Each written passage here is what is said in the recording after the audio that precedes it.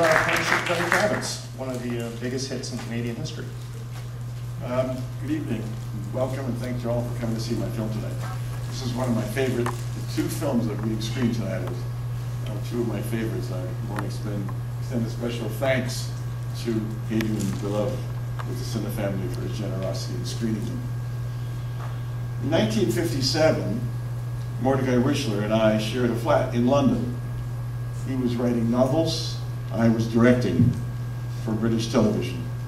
And we were 26 and dreaming. He to be the great Canadian novelist, I to be the great Canadian film director.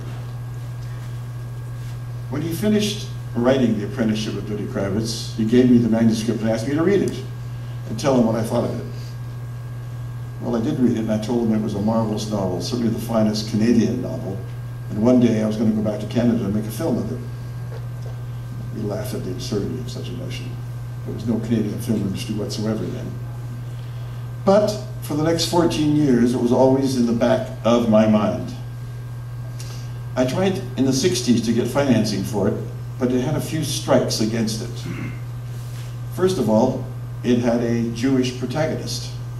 And as you know, Hollywood was always very reluctant to deal with Jewish characters in their films. Secondly, it was a period picture, period piece, late 40s, early 50s. And lastly, it was set in Montreal.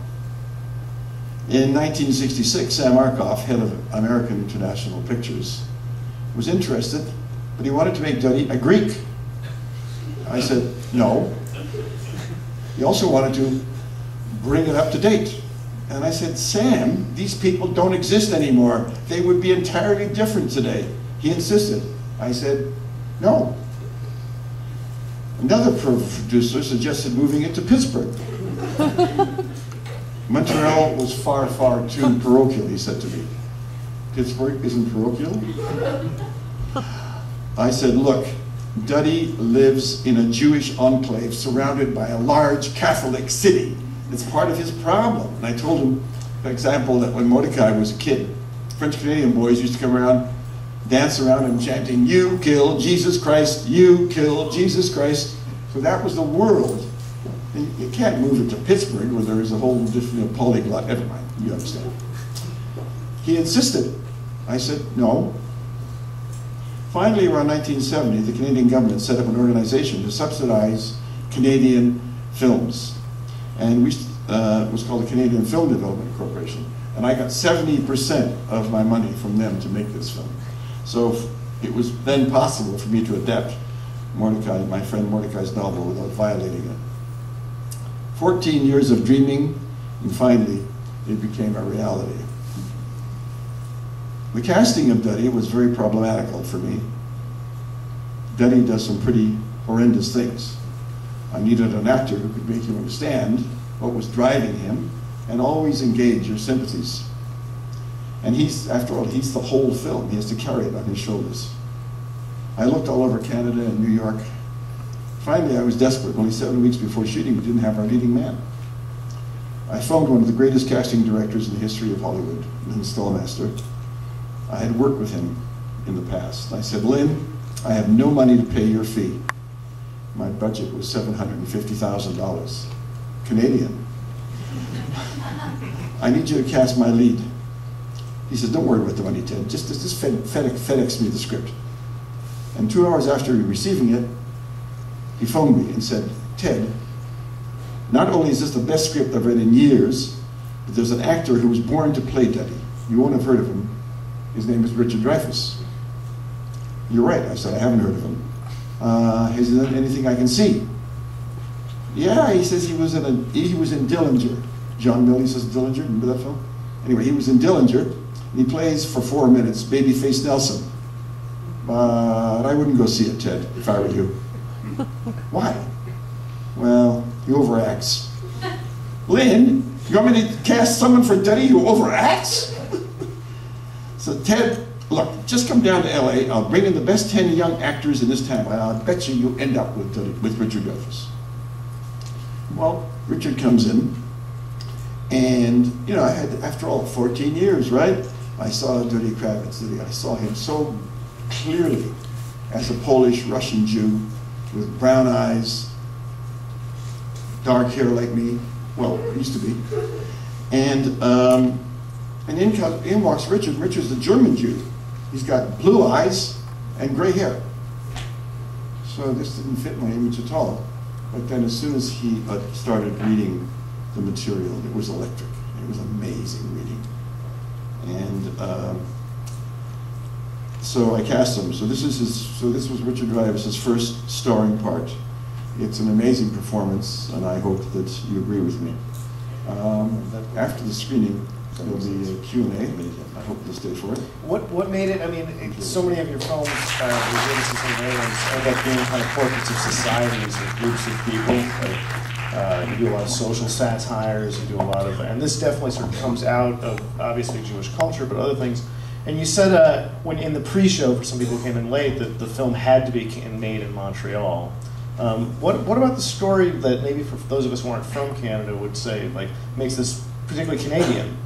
and not just like you know the story of a Jewish immigrant in New York or Chicago or something. What, what kind of details of it that were? Well, that's a good question. Other people can answer better than I can. Uh, I think that, uh, well, I say, first of all, it's Montreal, as I say, it's a big Catholic city, and the, the Jewish community is all concentrated on St. Urbain Street, at least the working class areas. And Westmount was where the rich, rich Jewish people lived. Um, that place, Wilensky, still exists, Yeah. where they, at the end, where he's charging up things. Uh, it was a very famous institution where you could get specials, which were pastrami sandwiches with cheese and I think there were other things in it. Or I forgot how they made them, but they were delicious. They were toasted. But um, it was a it was a very intense. Um, I mean, it, it's, it's all gone now. It's been taken over. It's disappeared. Um, the Portuguese had moved into the old Jewish area, and the uh, extraordinary architecture, all those steps going up and everything, you know, was a curious. Um, but um, it's it's when when the when the separate when the separatist movement started, um, all the Anglos left Montreal. Guess who were the only people who didn't leave? Who spoke English? The Jews. They didn't leave. They were not going to be driven out. so it's so it's really boiled. Montreal now is strictly uh, French Canadians and uh, a few Anglophone Jews. Wow. Well, you know, the thing that struck me the most of all too is uh, I, I love the scene with the uncle when he sort of says he, it's almost self-referential where he says something like uh, in books they never want to talk about characters like me or they, Mm. they're never sympathetic and the the impetus to make the entire film about that character would normally be the villain and find some sympathy in him. Um, you know, what, did you ever talk with Mordecai early on about like where he drew the character of Duddy or why he sympathized so much with you know somebody that's normally sort of seen as the villain, the the capitalist or the you know the the, the But you know, both Mordecai and I suffered a great deal of opprobrium. We lost friends. People accused us of being anti-Semitic. Um, there's the director, Arthur Hiller. Do you know Arthur Hiller? He's a Canadian director who did Love Story and others. He came up to me and he said, Ted, how could you? How could you? He wouldn't speak, didn't speak to me for what, five years. And Mordecai was accused of being anti-Semitic. And uh, so um, That's incredible because to me it feels almost in a weird way like a defense of a certain like it I comes across. You know, like you like you hear here's these behaviors that maybe did exist, but you, by the end of the movie you can really see on some level where he was coming from or why. what- you understand this was his only route to identity. was to, Yeah. you know, Even though it's almost like he doesn't quite know what's driving him himself. no. Yeah. Oh, uh, one good question I, I always forget to ask really early on, but when you haven't seen the movie, I, you haven't seen this for many years. No. So, what did what memories sprung up as you watched it? Oh, there's all sorts of memories. Uh, one of them, one of the one was the lake, um, because I felt that when Duddy sees that lake, it ain't merely greed of possession that he wanted to possess. Yes, he wanted to possess it. At the same time, he was having a major aesthetic reaction to it. It was so beautiful. He wanted it because of its beauty, and not merely because it was going to be part of his road to uh, identity and wealth. And so it had to be a very special lake. And I had a wonderful woman who was a location manager, and she uh, um, she kept offering up lakes. She saw 450 lakes. I saw 125 lakes of those 450. I keep saying, no, no, that's not it. No. And the producer, a week before shooting, we still haven't found that lake, and the producer was going crazy. And he said to me, Ted, Ted, what, what, what is this with a lake? One lake is like another lake. And I said, wrong, John, one lake is not like another lake, because this has to be the ultimate lake. This has to be the platonic lake. This has to be the lake of lakes. Ted, you're totally crazy. And so I said, and uh, so finally, she came to me one day and she said, Ted, I think I found the lake. If this is not it, I'm committing suicide. so we went, we went out, we tramped across the fields. It was hidden, that was the whole point. No, no, no one knew it was, there were no buildings on it, there was no house. Anyway, we were trapped to, just like them, they went across these fields and I came to this barrier of bushes and trees and I opened it up.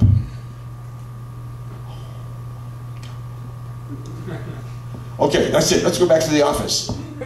Go back to the office? Yes, that's it. That's it. We got it. Let's go back to the office. Come back, you bastard! 450, give me some satisfaction!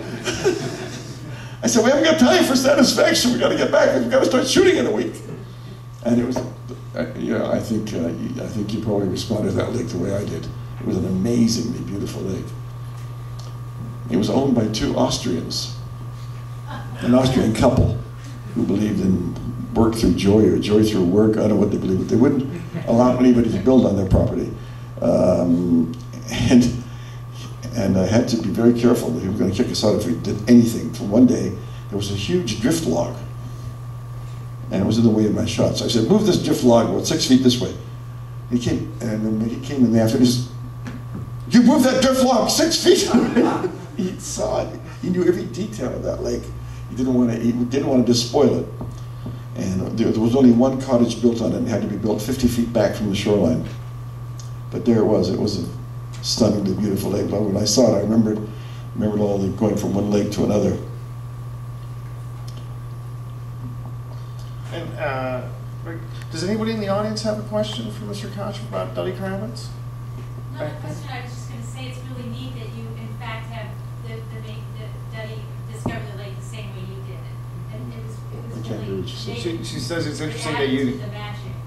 To the matching. It's interesting that he discovered the lake, that you ended up discovering it in the same way he did. In fact, I was actually wondering, did you see it from the same angle when you were like Yes, putting the camera? I shot it. That first shot was exactly the one I saw it in. That angle. You know, It's it's also interesting how he, you know those, those there's so so many subtle moments you have to get just right with like her hand coming off the shoulder. Where does Duddy even know that he's having an aesthetic reaction? Like he's so driven by the idea of what he thinks he wants. You know, um, do you think? The producer said to me, said to me, uh, I said to him when he was nagging me about the lake because we hadn't found. it, I said to him, um, "What do you think a film is, John?" He said, "What do you mean?" I said, "You know what a film is? Film is interiors, exteriors, and people standing in front of them. That's what it, that's what a film is, and everyone's got to be perfect." This movie, I think you've really got everybody just about perfect. But I thought, uh, funny, Joe Wiseman, who played his uncle, just died. He died about two weeks ago. Uh, Jack Warden, who played his father, what a wonderful performance he gave too. He was a wonderful actor, Jack Warden. Lovely man. He disappeared when we were shooting up on, on the lakes. He would disappear for a week into Montreal with uh, two giant mud wrestlers, women, I mean. he was crazy. Um, but all the actors were just wonderful. What was uh, what was Mordecai Rickler like? I know you had a very It's close Richler, relationship. What? It's Richler, Mordecai Richler. I'm Richler. sorry, Rich. It's okay. Uh, well, I know you had a very close relationship with. He continued to do script work with you, several with Joshua then and now. Like, what? How did you? Uh, did you have like long conversations about Duddy, or like in the night, or were you? No, the incredible thing was, I used to say to people, Mordecai was my best friend for 44 years. Uh, I say to people, when they ask me that question, I say, I don't have to use words to talk to Mordecai. He doesn't have to use words to talk to me. And we could finish each other's sentences. We were always on the same wavelength all the time. Um, we rarely discuss, discuss character. Did you guys have similar backgrounds at all? Or? Yes, very similar. Uh, we had dopey fathers, both of us. Um, his father was great. I loved his father.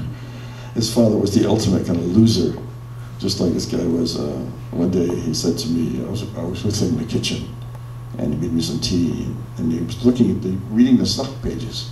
And he said, Oh, look, Ted, look. Oh, this stock I bought has gone from 50 cents to 90 cents. Oh, I said, Oh, that's great, Mr. Richler. Yeah, only one thing, I bought it at $10. that was, that my father was, that's what my father would do, the same thing. They would, there was kind of a naivete about them, which was charming. Um, but yeah, we had very similar backgrounds. That's I think that's why when we first saw each other, we met. Um, he, he wrote me that for a horse of the same color. Was was was, was yeah.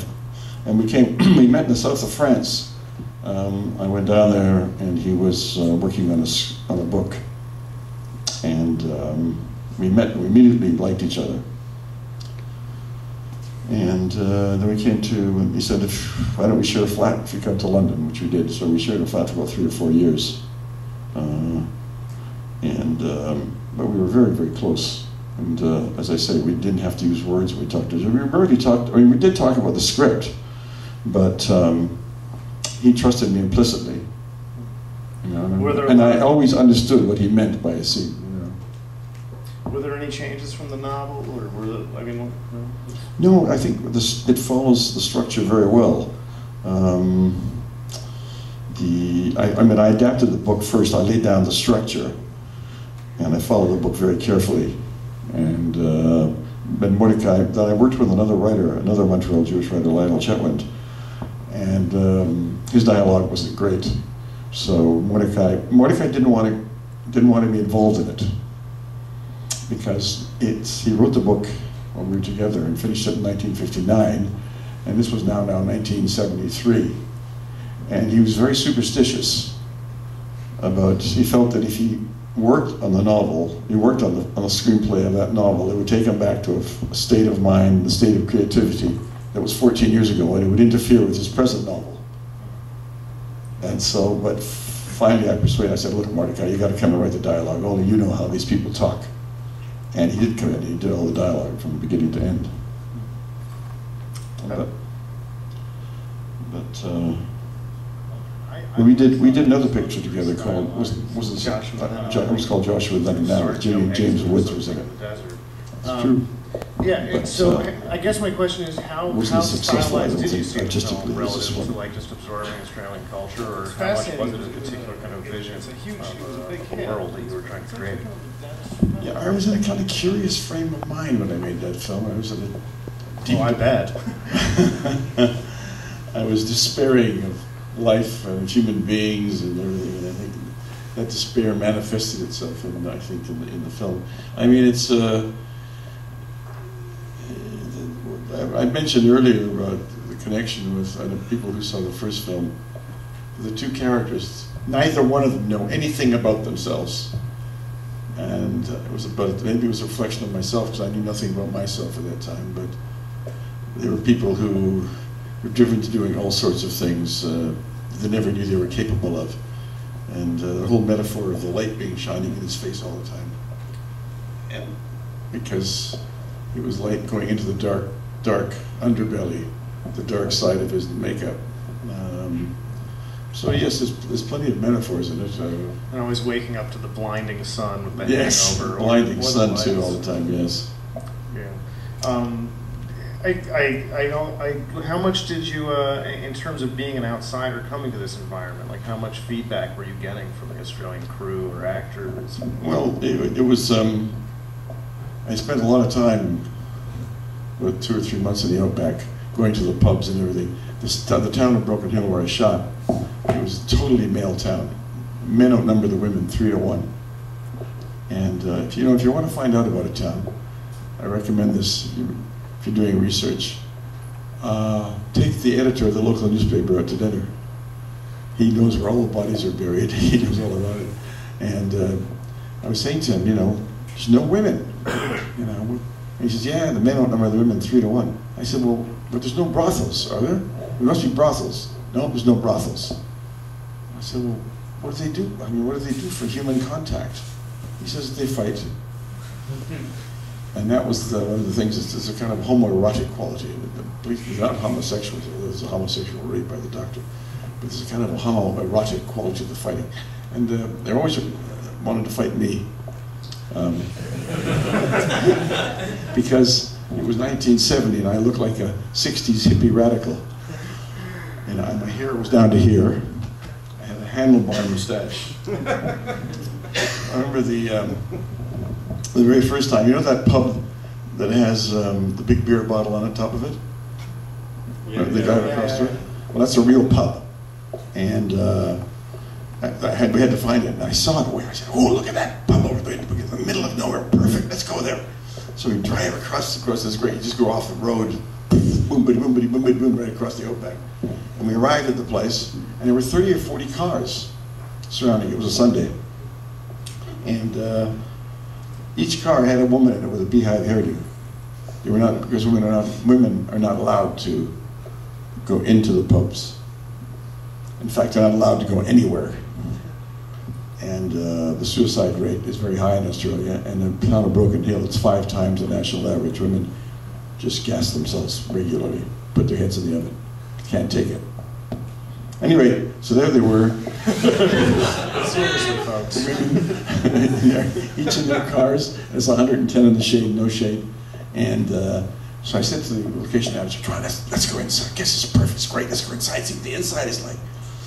And um, he said, "Ted, let's come back tomorrow when they're down the opal mines and the zinc mines and the sheep ranches. We'll come back tomorrow." I said, "What? It's 30 miles from Broken Hill.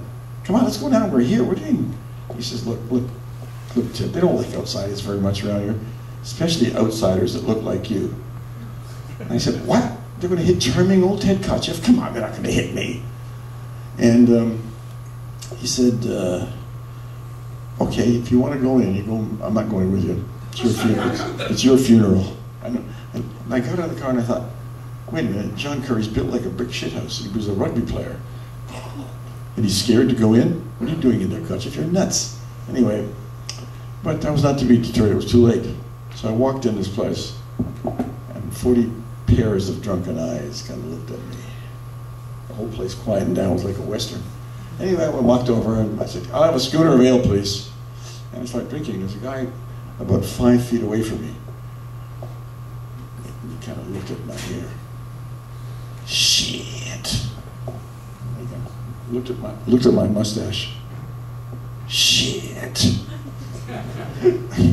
So finally he leaned into me and he said, Hello, Stalin.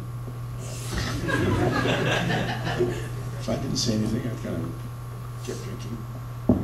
And he said, I, he said in a, in a loud enough voice to quieten the whole room down, I said, Hello, Stalin. To which the response uh, he, he wanted me to make was, Who the fuck you calling Stalin? Biff! Yeah, that's what he. And he stuck his jaw way out. I looked at him, I thought, why isn't he hitting me? Anyway, he said, so I, I said to him after a pause, I said, listen, I, I'd love to talk to you, but I'm dead. He didn't get it for two or three seconds. Then he, he said, I love a bloke with a sense of humor. Give this guy a schooner of ale. and those guys, from that they wouldn't let me pay, and I drank all afternoon with them. I didn't invite John outside, no guts, no glory. He can cook out the car. If You want to come in with me? And those guys, there's a curious mateship. They became my friends, and they looked after me. Because I'm doing all my research going around pubs at night. And there was always some guy who wanted to fight me. Come on, let's fight. I said, mate, I'm not, I got no quarrel with you. I'm not looking for one. Oh, yes, come on, let's fight. And I quickly realized they didn't want me to hit them. Oh, sorry. They didn't want to hit me. They wanted me to hit them. That I realized the fighting was a form of human contact. You know, if you can't touch, get touched any other way, you get touched by being hit. And it was just curious. Anyway, they became my friends, and I'd go into pubs sometimes. I said, "Come on, let's fight." And so, it, and then somebody would say, "Hey, Bert, leave Ted alone. He's my mate." It was one of these guys from what I should call the Stalin pub. And everywhere I went, it was one of these guys. I don't know how they following me. I don't know why. They always looked after me to make sure I didn't get hurt. So a lot of that insistent hospitality was Yes. true. that aggressive.